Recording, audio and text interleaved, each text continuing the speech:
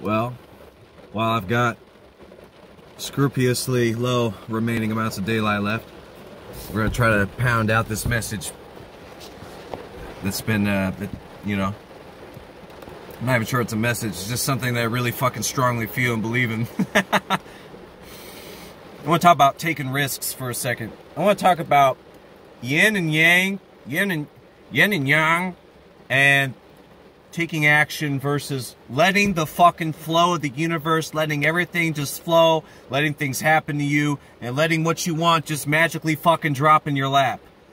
Because I'm fucking sick of that attitude. It is not reality. That's law of attraction horseshit nonsense. And I'll tell you that a lot of things do just fall in my fucking lap, which is the irony. But, by that same flip side token, if you are not going out and doing the things required to be courageous and take bold action, that forward momentum, that movement through the universe, the movement of your energy, the pers- the persistence of the fabric of your energy permeating reality, you have to embrace that and put that out there. That energy that goes out and disseminates itself into the universe, it's not as simple as I wish for this and I envision this and then it just plops in my lap. However, I have had that happen. So it's a grand fucking mystery. And quite frankly, anybody who says that it is just black or white or it is just this way or this way doesn't know what the fuck they're talking about because it is a mystery. We don't get this shit. We don't figure out this shit. Everybody thinks they got it fucking figured out. All this law of attraction fucking nonsense. Man, I've had I've had all kinds of things I've had I've had things that I envisioned strongly that I wanted that didn't come to me for the longest time and then I had to take painstaking effort and put in a lot of patience to get it and then ultimately I got it and looking back it was like oh that's exactly what I asked for.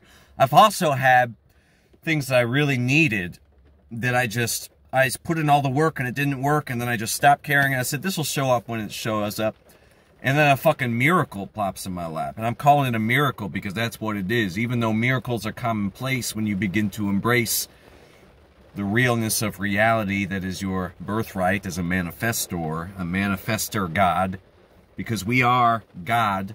We are part of God. We are part of creation. We are God. We're the fabric, the essence of God. Made in the image of God, the Bible, the Bible says.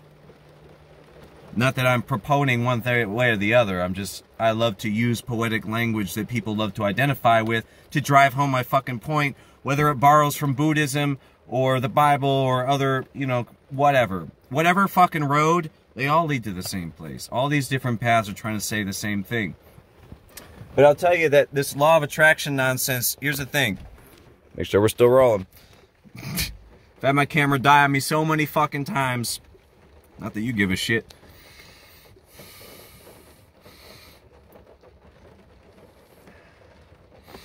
There is a balance. There is a balance required. But see, by going out and doing these things and being courageous, taking risks, being bold in life, the yang energy, the action, going out and doing, you know, you just, by doing these things, you actually prepare yourself to receive those things that destiny would like you for you to receive. But how do you know that it would have come into your lap if you hadn't gone out and done all the other shit first? And some people would have been like, well, you just did this and did this and did this and wasted your time and this was destined to happen anyway. Maybe. Maybe not. But what I do know is that if you sit around your ass not doing anything, holding on to this desire and attachment, that doesn't do you no good either. Then your energy just sits there and festers. You got to get it out there. You got to be you and you got to be, right? You got to live. You got to take these bold risks and actions not because they matter or even because anything will come of it, but because you have to to be alive. because you have to be and you have to do to exist to maintain your sanity. No, no, no. Well, what's the point of sanity if you're not living? That's the point. You got to live. You just got to go out and do what you got to do and take the risks that make you feel fucking inspired, regardless of the fucking outcome, regardless of what happens because that is you feeding into your essence. That's who you are. You got to do these things. You got to do those things. There's a lot of people who are big proponents of sitting around doing nothing and meditating and the law of attraction. This will drop out of the sky. Okay, great. You want to meet somebody else who just sits around and does nothing and waits for things to drop out of the sky? or do you want to meet someone who's bold, relentless, courageous, takes risks, has a burning fire and desire, and wants the meat out of life? That's who I want to meet because that's who I am. Not one of these love and light goonies who want to sit around and say everything just fucking happens. And no, we have a choice. We do have a choice. We can make things.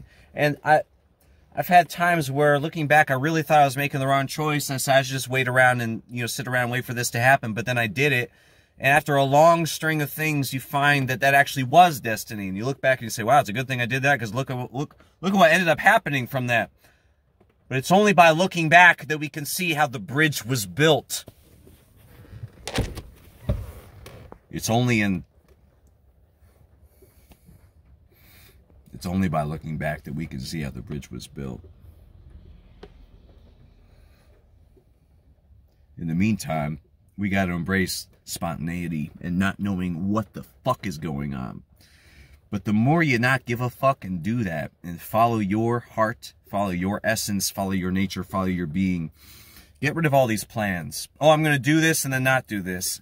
Ah, I'm not going to do this anymore. You know, I'm just going to do this and leave it. Perfectionism. I got to have it look a certain way. I got to have it be this.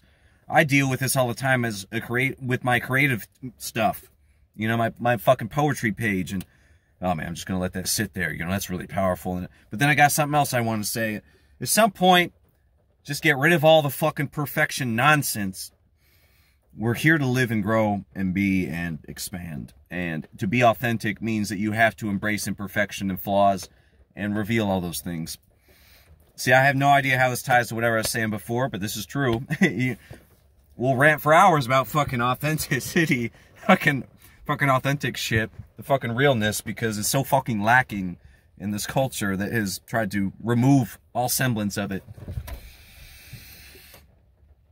I like to bring the dark side of the coin, okay? Sorry, kids. All the love and light nonsense. You can go to about a thousand other channels for that, a thousand other places, but it's time for me to speak the truth, which is the darker nature of reality, as well as the light. You can't have one without the other. If you do, you excise vital parts of your being. You excise your wholeness. You, you deny your wholeness by denying the darkness by, oh, everything has got to be positive vibes, positive vibration, good vibes only. When I see a good vibes only shirt, I want to rip it off and fucking burn it because it's bullshit. It's actually preaching the very thing it's against. Whatever. It's actually saying the opposite. Just like these fucking signs at Planet Fitness, non-judgment zone. But you can't do this and you can't do this and you can't. Oh, so it's actually judgmental of people who do all those things. We're not judgmental zone, but we judge people who do X, X, and X, and X. You can say whatever you want here, but you can't say this and this and this because it might offend people because this is a safe space. Well, it's not really safe, is it? It's a fucking prison. oh my, the words and the words, the words that create prisons, the mental realities and concepts that people engineer to enslave us, that our minds engineered to enslave us. You see? Trying to wrap life into a box and say, I can only do this. I can only sit here and meditate and draw things to me and be, be the vibration of what I wish to attract. God, I've been being the vibration of what I want to attract for a long fucking time. and uh, look at what it fucking got me into. Anybody who follows my art if I can even call it that. It's not really art, see? It's just shit that comes out of me, out of my heart, out of my soul, out of my being. I can't control it. What is that? Is that art? I don't know what that is. But, uh, you know, it's attracted a lot of a lot of good and a lot of bad, but it's not really good or bad, is it? A lot of pain, a lot of desire. But if I were just sit around trying to be something I'm not, I'm not sure that would attract what I want either. So, you know, I'm going to go the other way with it.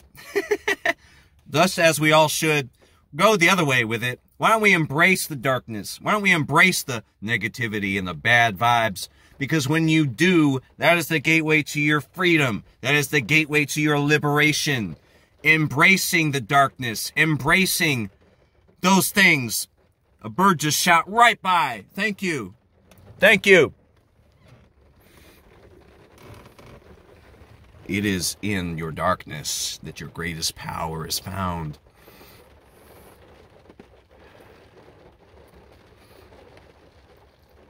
By everything you try to be and everything you try not to be, you are actually getting in your own way.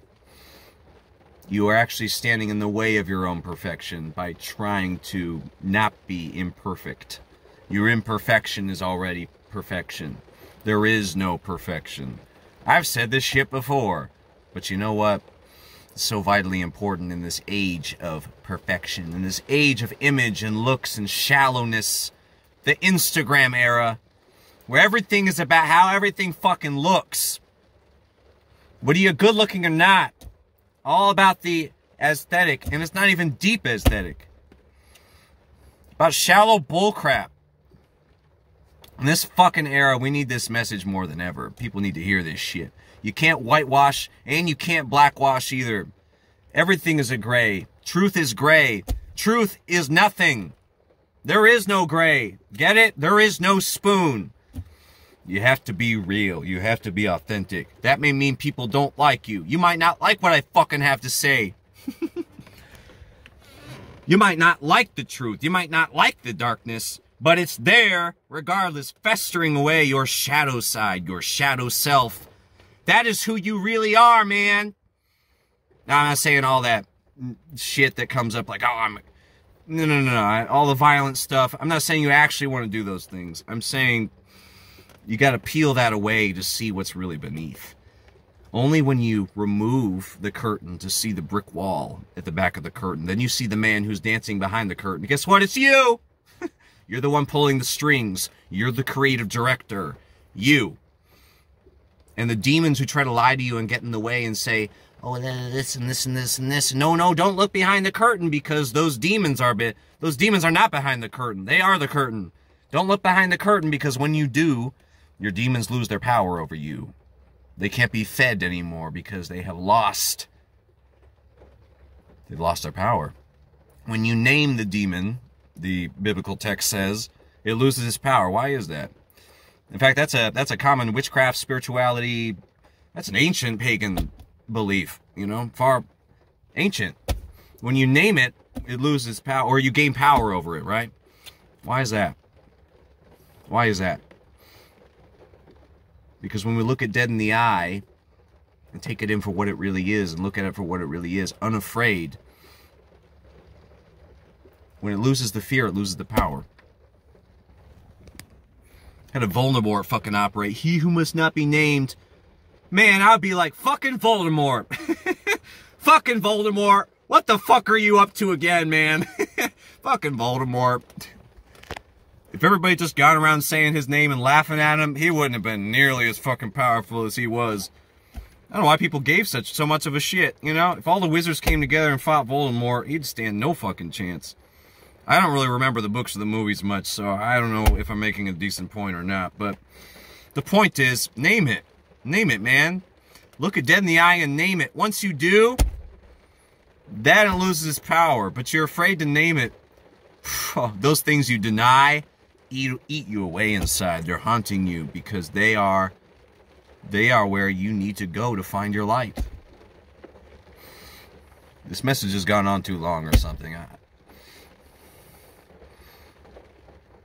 I don't want to talk about demons and names and namology. That's not what I want to talk about. I'm probably about to lose batter. Yeah, I'm about to lose. Look. Embrace balance. Stop being in denial. Dark and light. Every fucking spiritual teaching that's legitimate says the same fucking thing. It's all